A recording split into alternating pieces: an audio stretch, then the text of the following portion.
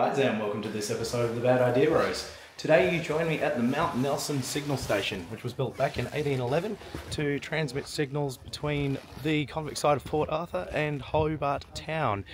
Now they didn't use anything digital, obviously. Um, what they used was the pole behind me. Now, guys, very rudimentary system, um, but very efficient.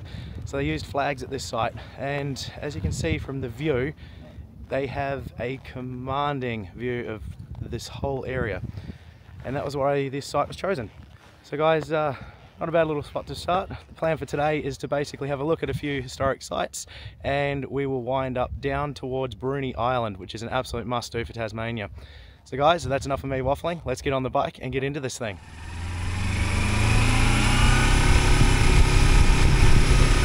Alright guys, so this was our starting point for today and as mentioned in the opener we have a few historic places to look at. The first one that we'll be heading towards is the Hobart Shot Tower. Now that's going to require us doing a bit of bumpy tarmac and one particularly twisty descent down Nelson Road. Lots of switchbacks on that one. Got a perfect day for it today guys, sun's out, not too hot, nice cool breeze, perfect riding conditions. And once again, we uh, should be seeing some nice scenery. So today's ride will see us uh, heading south of Hobart and eventually we'll be ending up at a place called Kettering, which is where you uh, board the Bruny Island ferry. Now, uh, I think I mentioned the opener, Bruny Island is an absolute must-do if you're in Tasmania, uh, to the point that the picture of Tasmania on the Lonely Planet is actually taken on Bruny Island. So guys, I'm going to put the visor down and uh, try and get through this bumpy road.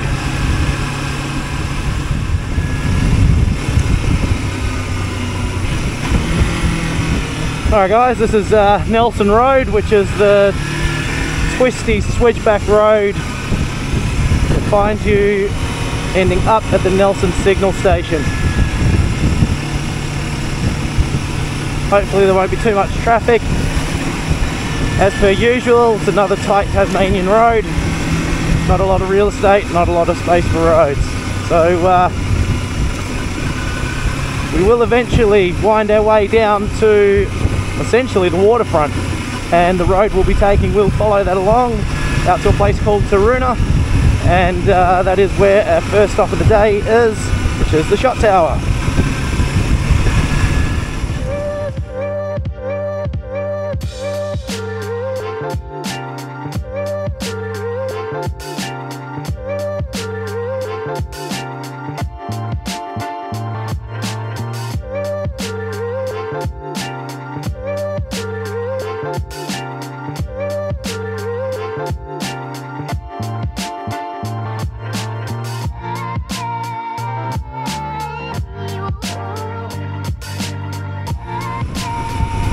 Alright guys, so that's uh, the end of the twisty switchbacks, obviously. And you can see dead ahead of us, we are heading towards the ocean. So we'll uh, follow this road down to its end and be turning right and then follow that pretty much all the way to our destination.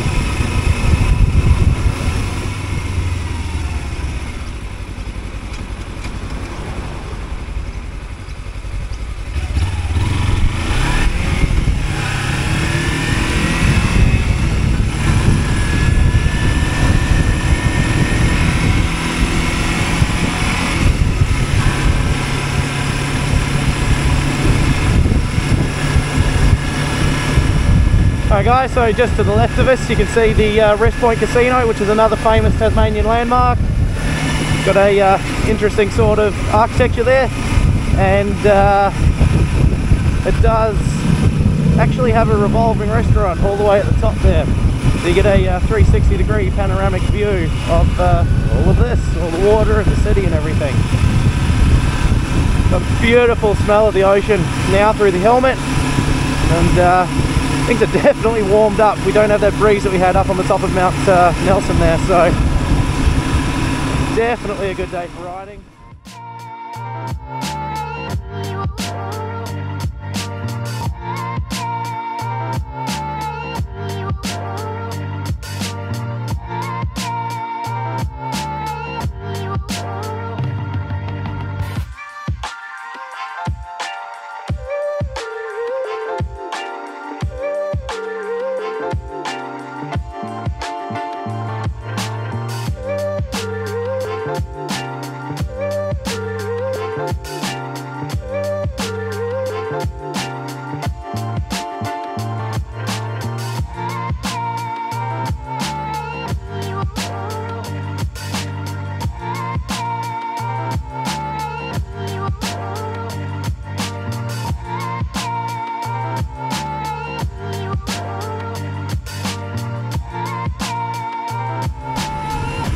Guys, so uh, as that sign directly ahead shows we are coming up on our first stop, which is the shot tower.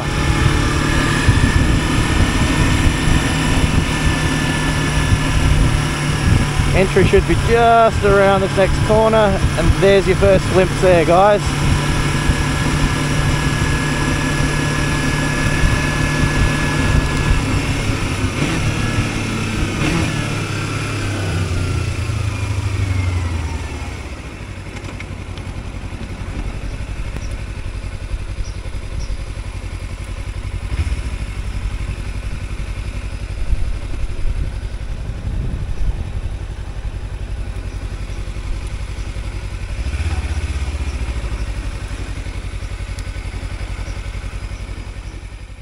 Alright guys, so uh, this is obviously the shot tower and directly ahead is the entrance. The plan is to climb all the way up there. So how's that going to go? I'm not sure, but I'm willing to give it a go. So let's go and try this thing. Okay guys, so the uh, point of the shot tower is exactly as the name suggests, it's made shot. Uh, from the very top of the tower, they would drop molten lead down into a vat of, I believe, water at the bottom and that was to make shot for muskets. And if I flip this camera around, this is the different size shots that they would make. So depending on the size, or sorry, the volume of lead that they drop from the top, it would end up as different sizes from the bottom. So you can see four, six, seven, eight, nine, and obviously imperfection as well. So that was the point of this thing, guys. Through that door should be where we go.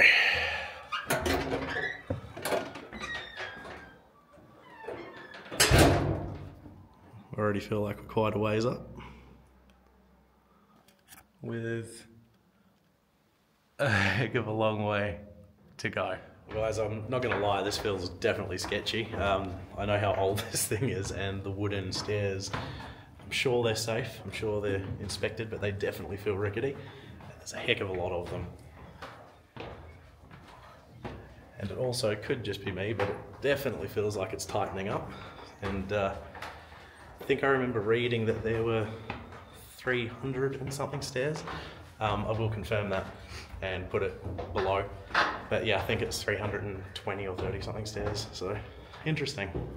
Alright guys, I can feel the fresh air, which means we're almost at the top, and this is incredibly steep. I'll uh, show you what the last bit looks like. But uh, that's the stairwell, and as you can see, it's no joke. We're very much almost there, and uh, I'm excited to see the view. So, looks like we get up to a metal gantry.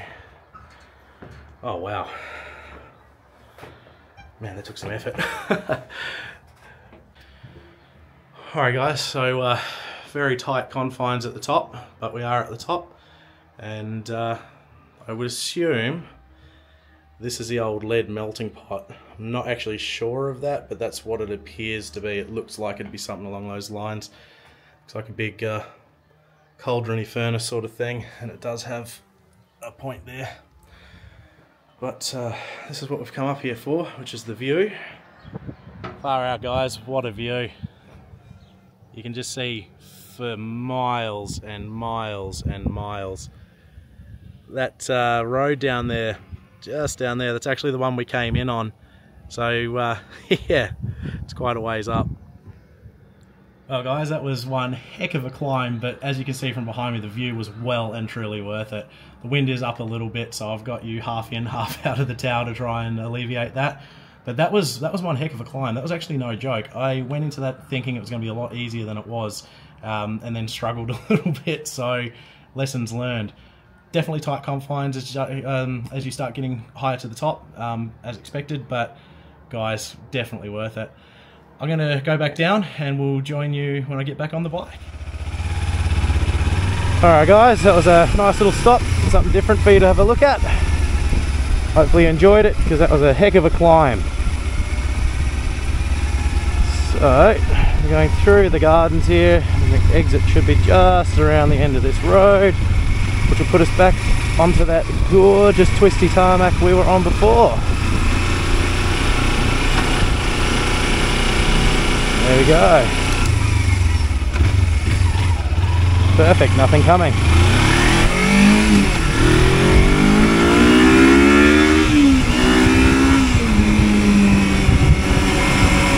Alright guys, so we're going to uh, be continuing along this road for quite some time. We'll eventually deposit us in Kingston, uh, which will uh, take the route that follows the beaches and continue heading on to our next stop, which is actually a waterfall. I'm going to put the visor down and enjoy these beautiful corners. Ah, not a bad way to spend a day.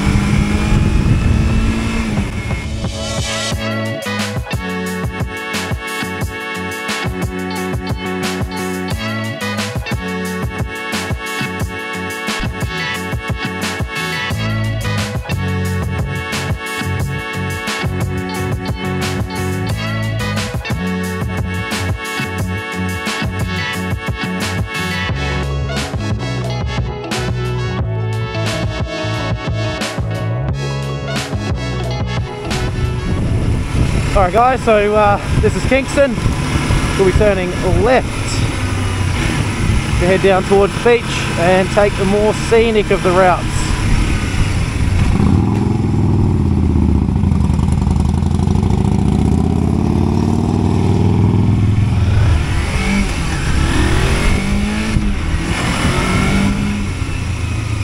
So guys, we've uh, run out of road here, so it'll definitely be a right hand turn. Follow the beach ground. Looks like everyone's at the beach today. Definitely a good day for it.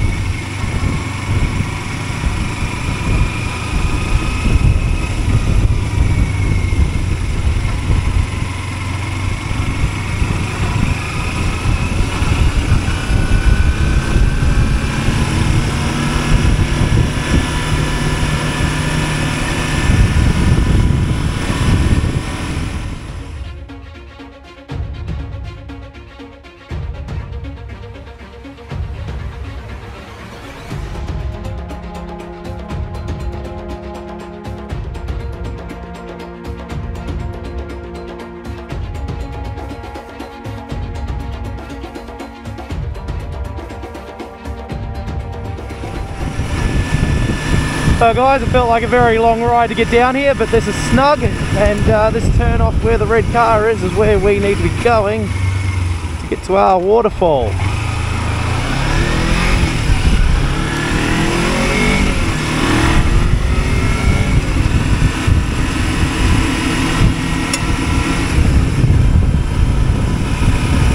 I feel like this uh, waterfall may be one of the lesser known ones, but uh, quite a pretty place. Takes a little bit to get down here. We'll have a little bit of gravel to uh, get out to the uh, trailhead to hike down, but uh, well worth it. Guys, I can't believe how good we've got the weather today. Absolutely perfect. Genuinely couldn't ask for it to be any better. Guys, we'll be hitting the gravel shortly, so I'm going to uh, tuck the visor down and we'll uh, see you at the trailhead.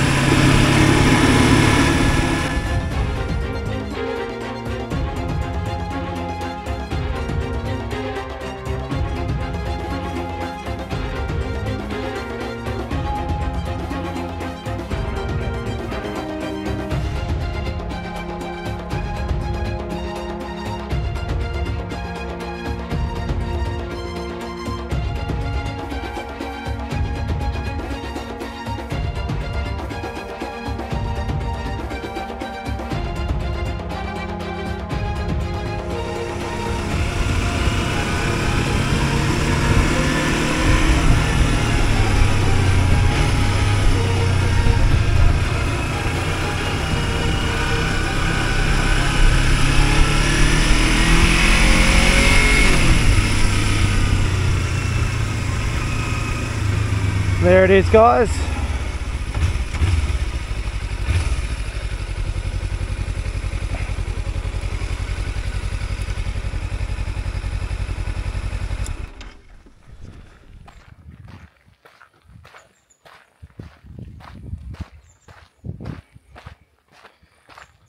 Alright guys, so we've uh, obviously ditched the bike and the jacket, way too hot to be wearing that today, and we're on the trail. Um, it looks like it should be okay. Um, lots of downhill, which does mean an uphill on the way back I suppose, but uh, gravity does only go one way.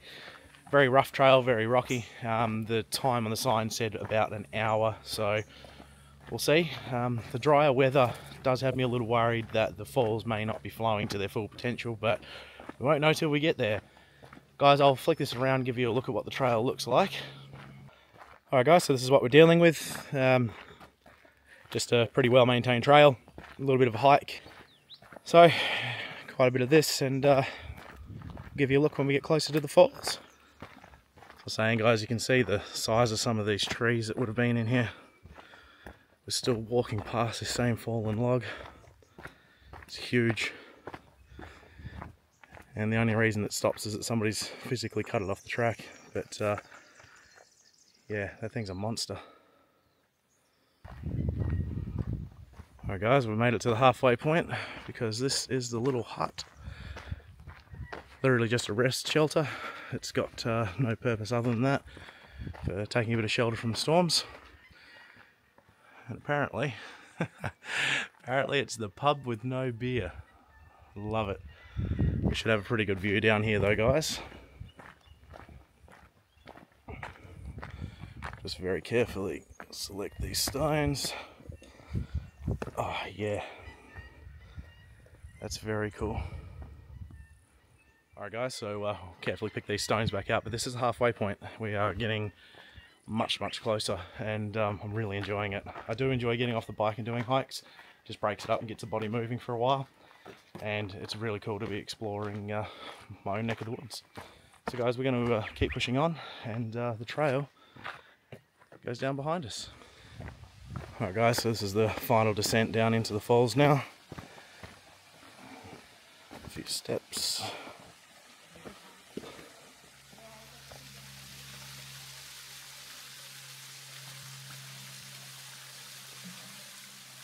Alright guys, there we have it, Snug Falls. So uh, definitely worth the walk down here. It wasn't too bad. Um, the walk back out could be a bit steeper than uh, I think I'm ready to do, but it's just it is what it is. Definitely worth it. Snug Falls is beautiful, um, really nice place and pretty close to Hobart. But guys, I think I might end the episode here, uh, purely because we've got a lot of content uh, already and we're only halfway down to Bruny. But uh, guys, as always, we thank you for following along and we'll see you in the next episode. Bye.